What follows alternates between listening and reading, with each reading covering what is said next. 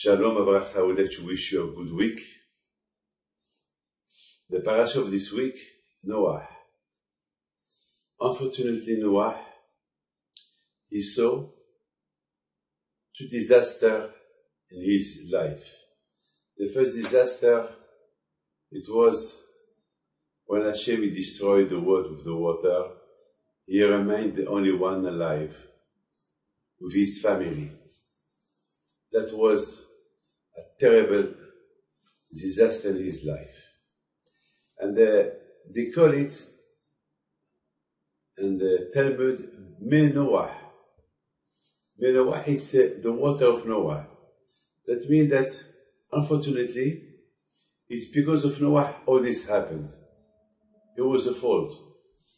Because he did not do anything good for his generation. He saved his life. He was a good man, but he was good for himself. But not for the others. Not like Avraham Abinu that all his life was for the others. In life you have to share what it belongs to you. You have to share it. You everything we have to share. You get married, you share everything with your wife. Your wife she share everything with you, then the children. Then you share all the good things with your friends. Help. The word standing, the word stand with chesed, with goodness. If we don't do good things with others, so it will be the end of the world. And the second damage and disaster that happened in the life of Noah, as you know, Noah, he lived a long life, it was Dor Haflaga, where the people, they were unite, very united, but for the bad. They wanted to fight God. Then God, He divided them in nations. We call it Dor Haflaga, the generation of divisions. And you know, divisions is not good. The best thing is to be united. But those people, they were united for the bad. There is united to be good, to be all of you united for good things, but to be united to fight, to be united to do, to do bad things, that's no good. So this is more or less the tragedy of Noah. But my friends, there is something that I would like to tell you about what happened after, when Noah, after one year that Noah was in the ark, now he went out with the permission of Hashem. Noah, he saw the world all destroyed. He saw bodies everywhere. He started crying. So Hashem told him, why you cry? So he told him, I cry because look, look what I see, what a disaster. So Hashem said to Noah, why didn't you cry before? I, warned you that the end of the world is going to come. So we did not cry. We did not do the best to save the world. So now you see this. But my friends, I would like to stop here and to bring you something else that I was reading this Shabbat and I couldn't sleep with that because I had a question and uh, I wanted an answer.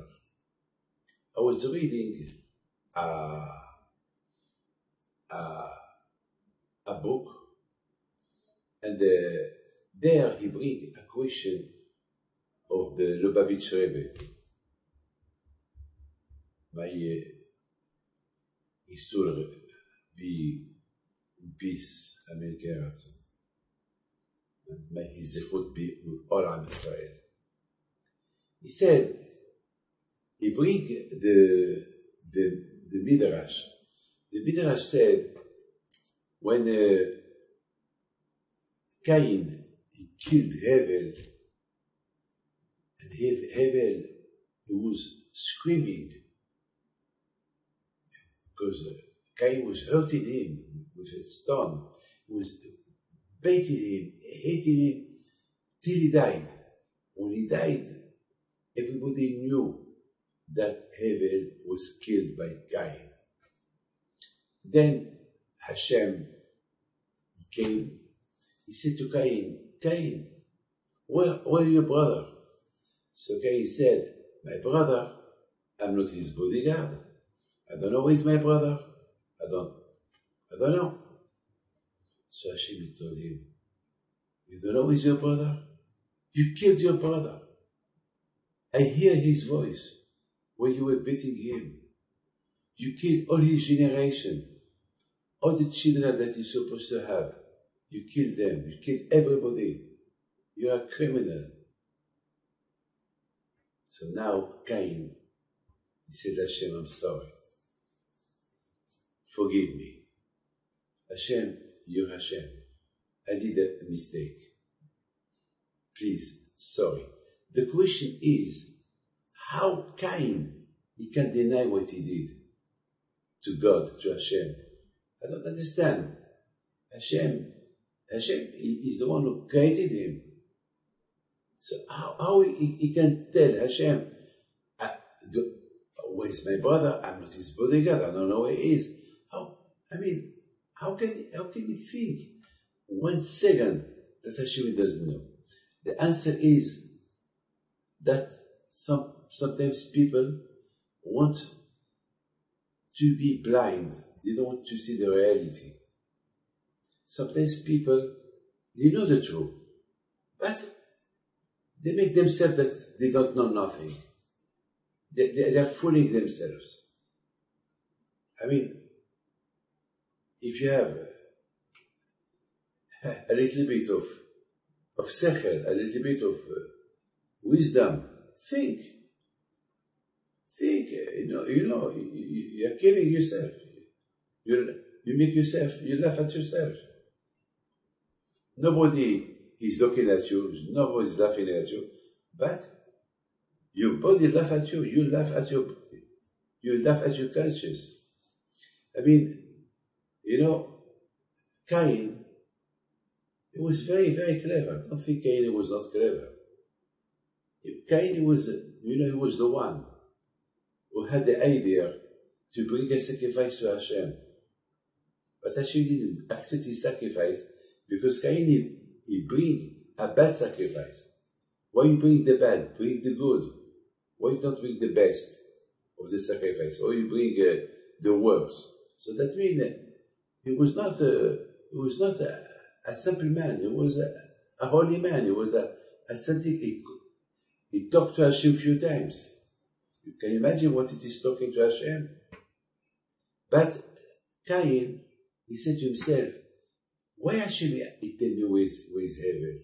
That means there's no. So why I have to admit? Cain, be clever. What do you think that? Think that Hashem he wants just to start a conversation with you. We want to see did you regret or not? Not because Hashem doesn't know where is Cain, where is Abel. He wants just to test you. I mean, Cain, you're clever. Think. صف معاسي بمحشرات حلال. Before you do something, before you think something, think about it before. Even when you think something, you have to think if the thing that you think is good or not. I mean, this is a when Hashem asked Cain, where is Hevel? I mean, why, why you have to be negative to think that means that Hashem doesn't know? So because he doesn't know, I can ignore. No, you know, it's just to, to start. You don't, you, you don't want to shock you. You want to see if you will admit what you did. Anyway, that's what he did, Cain at the end. That's why he didn't do it at the beginning. My friend, let's, let's, uh, this is not our conversation for today. Now, this is a question. Adam Arishon, when he heard the, the voice of Hevel dying, he came and he saw the body of, of uh, Hevel the floor. He said to Cain, what, what you did? He said, well, I did what I did and uh, Hashem spoke to me, and uh, we made an arrangement with Hashem. So Adam actually said to Cain, What kind of arrangement you did with Hashem? Why did he punish you? What when Hashem he told me not to eat from the tree, and I eat it, he punished me. Why you didn't punish you? He said, Because I made a, a compromise. Uh, uh, I had a solution with Hashem. I find we find a solution. That way Hashem didn't punish me right away. What kind of arrangement you made with Hashem? I did teshuvah. I said to Hashem, forgive me. And because you said to Hashem, forgive me, forgive you, he said yes. So Adam actually started to think. Why didn't why I didn't do a teshuvah right away? When Hashem he told me, Where are you? I, I said, I am here. Why you're here? Why you're hiding yourself? Why? Because I'm ashamed of you. At that moment, why didn't say to Hashem, I'm sorry Hashem. I didn't do what you told me to do. Sorry, forgive me. So now Adam Arishon, he learned from Cain that you can do teshuvah. You can imagine Cain, he was not a simple man. He was the first one to reveal to us that we can bring a sacrifice to Hashem and tell him thank you for all his goodness. And second, we learn from him that you can do teshuvah. Can you imagine this? Uh, Rabotai, my friend, I think that's why Cain, his name is Cain. Cain is from the word kinyan, buying. You know, life you have to buy kinyani rohniyot. You must have, must buy, have on you that kind of spiritual belonging. And Cain had them, but he didn't use them, unfortunately. I mean, we saw that kind of advice he gave those kinyanim rahmiyim, but he didn't respect them. My friend, this is not our conversation for today. Now let's now just we we try to explain who was Cain. Now that we know who was Cain, what Cain bring, the teaching of Cain, now let's talk about the question that Lubavitch Rebbe asked. When Adam Harishon saw the body of Hevel, he did not know what to do with it. I mean, his body is in the floor. And they was looking. He did not, he did not know what to do. So Hashem, he bring two, uh, two uh, uh. It's a, a kind black birds. And uh, they started to fight. One killed the other one. And then the, the one, the killer, he started to dig the floor and he and he and he put it under the ground and he covered it with sand. So Adam actually said, Why have to do the same to Hevel? So it's like Hashem is sent to Adam Arishon that he did know what to do with the body of Hevel. Two birds that they fight, one killed the other one, and they buried him. So that's what he did, Hevel. The Lubavitch should be asked a beautiful question. I don't understand. Adam Arishon, he was very clever. He gave names to all the animals. He was so, so clever. He said, I don't understand.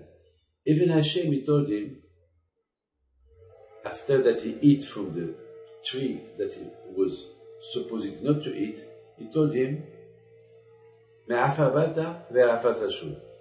that you eat from that tree that I told you not to eat, you came from the sand, you will go back to the sand. That means once you die, you will be buried. So he knew that once he died, he will be buried. So why did Noah to do the same to to Hevel? I mean, it's a beautiful question. I promise you. I couldn't sleep all night because because of that question. All night I was thinking about this question. It's I never thought about this. I know the midrash and that uh, he saw Hevel the floor, his body in the floor. He didn't know what to do, and Hashem he bring two birds, uh, the black bird Haruv, and the, the, he saw how they fight. One uh, killed the other one. He buried him, so he did the same. But at uh, one minute, but Hashem told you. Hashem already told you. I created you from the sand, and once you die, you go back to the sand. How you go back to the sand, David? You'll be buried. So why Adam Arishon? He did not know what to do with the body of Hevel. My friend, I have to tell you something. People who live in this world never think that there is an end. That one day they will pass away. I mean, especially when somebody he need nothing. He live with his uh, wealth, with his money. He has a wife, children, houses, uh, uh, holidays. Never think about that one day will uh, pass away. I was so so sad this year with all people that passed away to the COVID. I just say you said in England, one 15 year old girl, young girl, with no problem, in four days she got the COVID and she passed away. I mean, nobody knows about that. I mean, people are fighting uh, for the vaccines. I don't, I don't, I don't care. I I'm not a politic uh, to do it, not to do it. All what I know is uh, it's uh, it's risky the, the, the, the vaccines, but it's less risky if you don't have it. I mean, uh, I mean, this, this, is the fact. But of course, uh, people uh, they are. Uh, everyone has a choice to do what he wants to do with his life. But of course, uh, this is not, not my conversation. Or what I want to tell you that a lot of times we think about life. We think that we will be living all time, especially that Adam Arishon, Hashem told him now that now you, you will not live all the time forever. You will live one thousand years. So one thousand years is a long, long, long, long way. So you know what Shlomo Melech said? Shlomo Melech said, "Tov lechet levet ha'eved, melechet levet ha'mishte." Eh, Shlomo Melech said, if you have a choice to visit people that they lost a relative and to give them some comfort, or to go to a Brit Milah, or to go to a Bar Mitzvah, or to go to a, Chatona, wedding, what you will choose. I mean, the four, the four of them, it's good. It's a mitzvah. And Shlomo Melech said, the best start with the one that lost somebody. Why? Because there you will get something. There you will think that there is an end. And by thinking that there is an end, maybe you will correct yourself. You will be good people with Hashem, with people. This is the most important that after 120 years, when you go up there, uh, you have some some good uh, ma'asim in your hand. This is very, very important. Not to go up there empty with nothing. Money, you will not take it. Your wife, children, relative, family, you will take nothing. You, all what you take with you, Torah and mitzvot. That's it. So this is very, very important that a person should think. Now Hashem wanted to give Adam Arishon a lesson. Because, of course, he was a very clever man. He gave names to all animals. He know everything. But after he did the sin, he was not the same man. Now he had to work himself to be a good man. And now that he's going to live 1,000 years, Hashem wanted to give him a lesson. Hey, Adam, 1,000 years, it goes quick. Don't think that one day you will die. And that's why Hashem, he made that he forgot. He made that he forgot that when somebody died, to bury him. It's like he was thinking what to do with the body of Hevel until he saw something experience, something in his own eyes, an experience. What? He saw how we buried somebody. So he thought about himself that one day it's going to happen to him exactly like that. So better to be good person. That way, that way Hashem made Adam Arishon to think, to forget what he told him one day, to see and experience with his own eyes. So that all his life to be correct. correct. You know what the Pekah said? The Pekah said, Shuv yom echad lifnei motcha. Do teshuvah one day before you die. And the Pekah ask a question. Nobody knows when he's gonna die. So how can you do teshuvah one day before you die? So the Pekah answer, our rabbis answer, exactly because you don't know when you're gonna die. So always be live with teshuvah. Always you live in a risk. So this that was a beautiful experience for Adam Arishon. And Hashem sent him exactly two birds. Why did he send two other animals to fight and then one you bury the other one? Why two aruvim, les corbeaux? In French we call them les corbeaux, and in, in Hebrew we call them haruv. They are, you know, black bird, you know, you see them in the field all the time. They're a little bit big, they're a little bit big, uh, you know, they eat insects. Uh, sometimes they, they eat uh, uh even uh, small uh, small pigeons or they eat small birds. Why Hashem sent him two black aruv? Because aruv, it's a there is a meaning of aruv. Aruv, it's a erev, that means the night, and aruv, that means Israel זה busy. That means united. That means Hashem want to send a message to, to Adam Arishon. Adam, don't forget, this world is like a night. You sleep, you don't know if you wake up or not. It's a, it's a night. The real day, it's uh, when Mashiach will come. The real day it's up there. But this world, it's only one night. Vayerev, Vayiboker. There is day and there is night.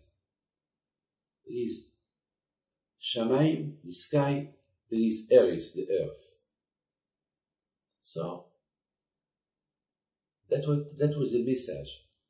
You want to live well, live united, live with shalom, live with peace. Do the best to be good. See, that was the message. Whatever you live, live like that. Live good.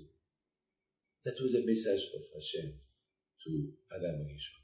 And I think this is the answer of the question.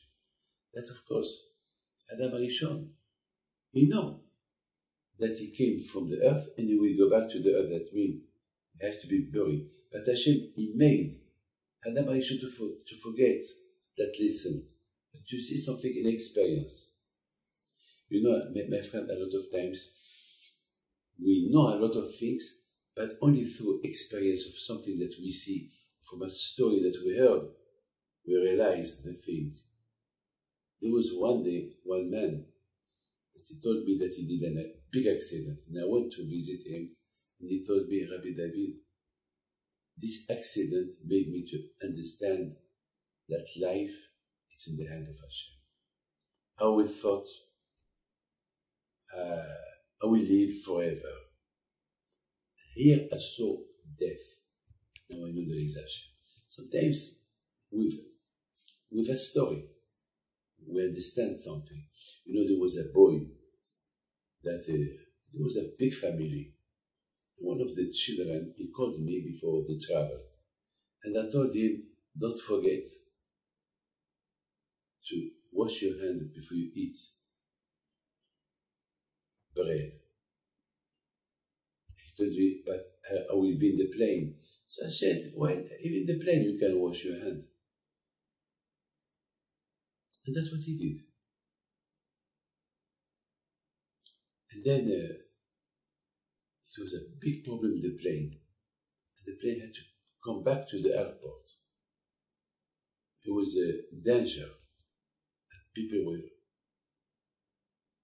were uh, really very big uh, worried. But that man, he told his family, I'm not worried because we did. I, washed my hand before eating bread and I did Birkat Hamazon. So this mitzvah will protect all the plane. This is his emunah.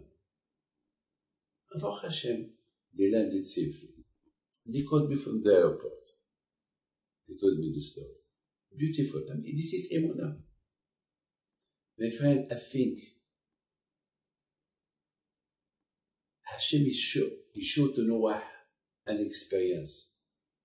When Noah went out from the, the ark, from the Teva, he saw bodies, thousands of bodies, skeletons, the floor. Why Hashem? He showed this to Noah. Why Hashem didn't do a miracle that all this will disappear? That Noah, he will, he will see a beautiful new world.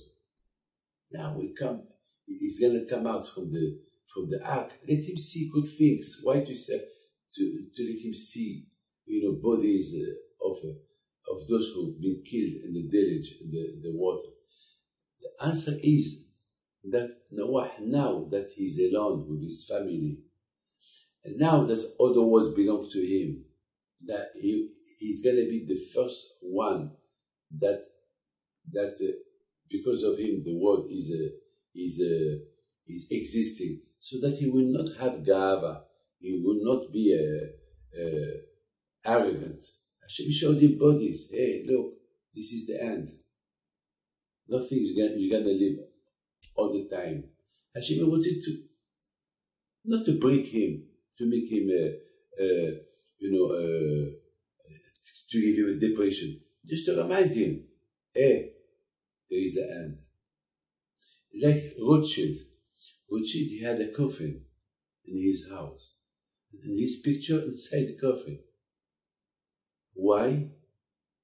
When they asked why you do that, he said every morning when I woke up, I entered this room, I opened the coffin, I see my picture to think that this is where I'll be one day. So I will not be arrogant. I'll be a good person. I will not I will not think that my money will take me all my life. This is very important, my friend. My friend, I would like to wish you bracha v'atzlacha. Hashem bless you. Good week. Thank you.